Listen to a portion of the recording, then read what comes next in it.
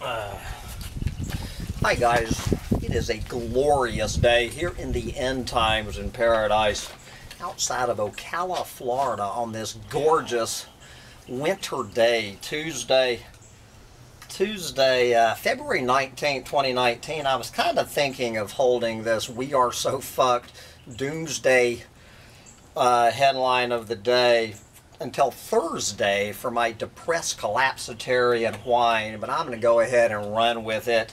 This is this hilarious story that has shown up on Yahoo News uh, from the little limp dick mainstream environmentalist at HuffPost.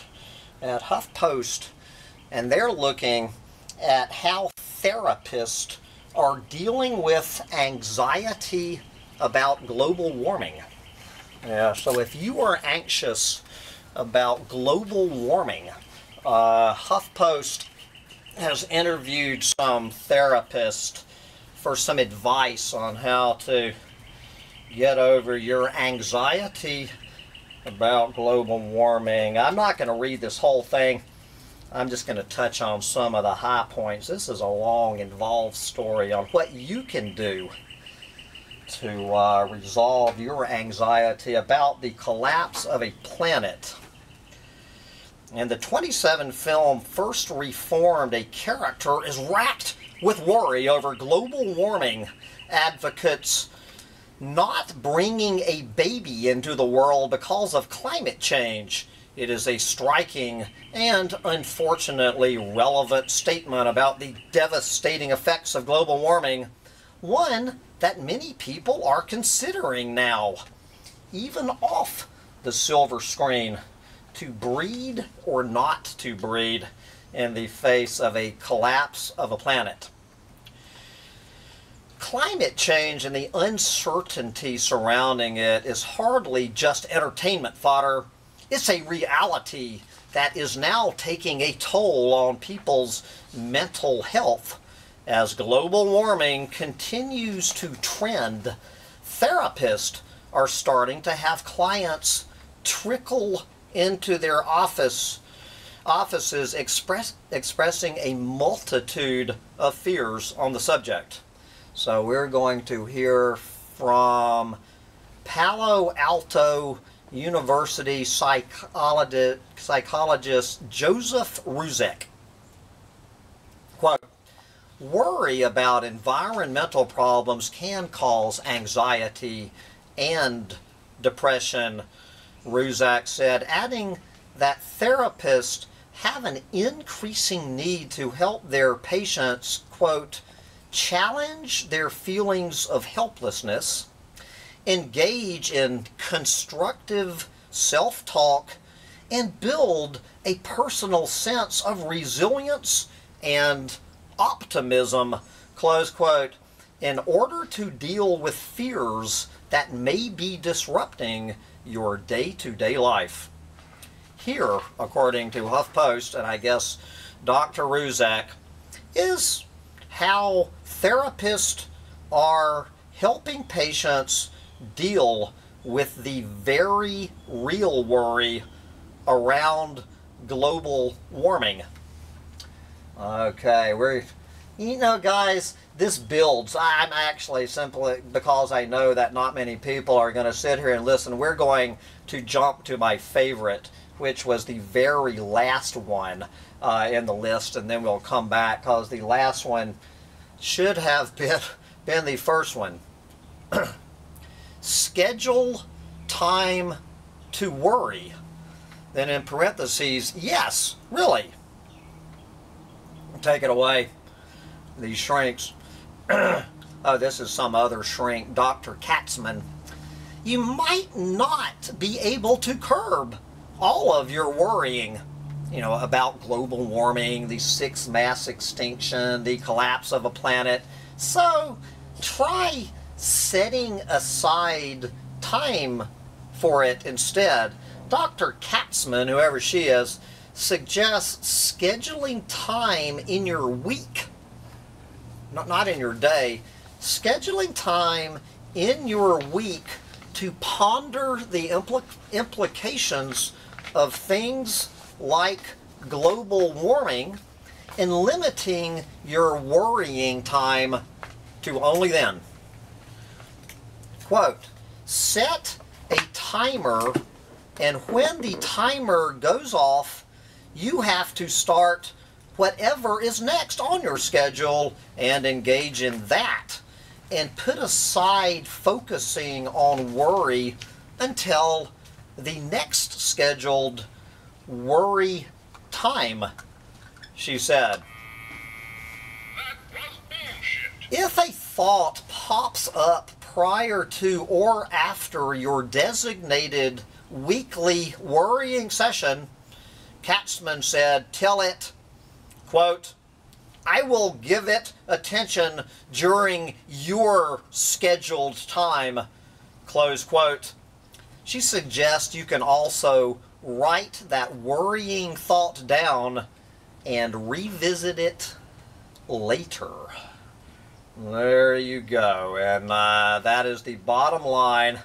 But we're going to visit a few more suggestions to how to relieve your anxiety and depression. Focus on what you can control and turn that focus into action. Yes, uh, this is one of these shrinks, Melissa Wolak. Quote, I have found that I need to be proactive to give myself a sense of control and ultimately hope. There you go. So focus on something you can control.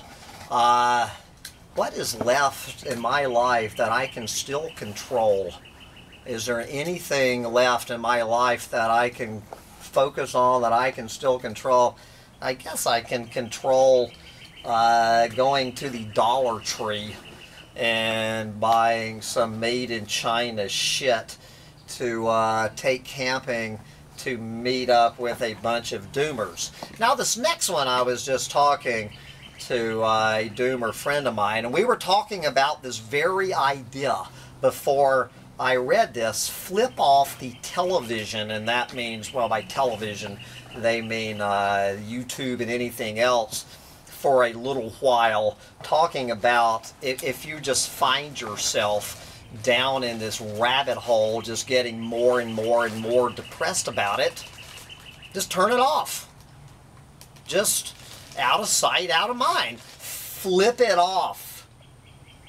If you don't pay attention to it, if you just completely ignore it, like 99.9% of the clueless fucking morons on the planet, there you go. Anxiety resolved. Flip off your television.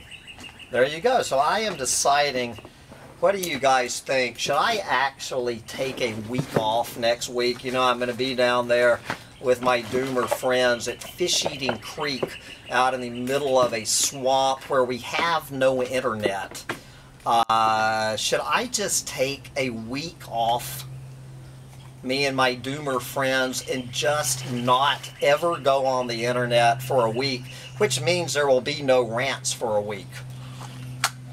Damn it, I did this last time I was sitting in this chair, my bullshit detector button flying everywhere. So anyway, let's hear from the uh, let's hear from the tribe. Should Hambone take a week off from chronicling the collapse of a planet? Okay, now there's always get prepared. Get prepared for the collapse of a planet. For instance, putting together, they, they move from global warming, they don't mention how to prepare for global warming, so they have to go over there to earthquake. Put together an earthquake preparation kit, arming yourself with a spare cell phone charger can make you feel much more empowered. there you go, guys. A spare cell phone charger is an excellent way to uh, re relieve your anxiety about the collapse of a planet. So uh, that is the number one list on your bug out kit.